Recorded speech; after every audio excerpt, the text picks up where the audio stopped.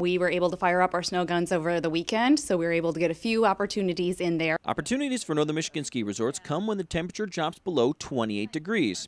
That's when they say it makes sense for them to fire up their snow guns. And while natural snow is always welcome this time of year, resorts say man made powder can be a real plus. You know, man made snow is actually almost better. Um, it's interesting, 12 inches of natural snow will compact to about one inch of, of a base.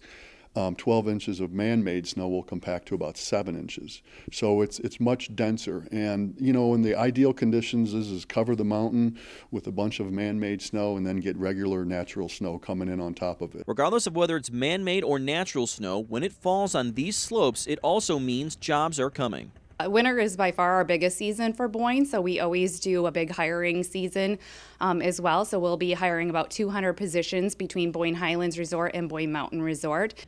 If the temperatures stay where they are, many of the resorts are expecting to open on Thanksgiving weekend, but some may open a week early.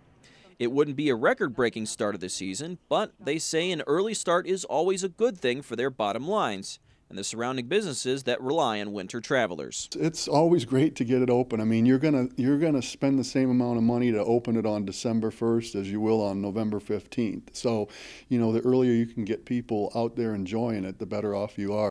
Nathan Lahota, 7 and 4 News.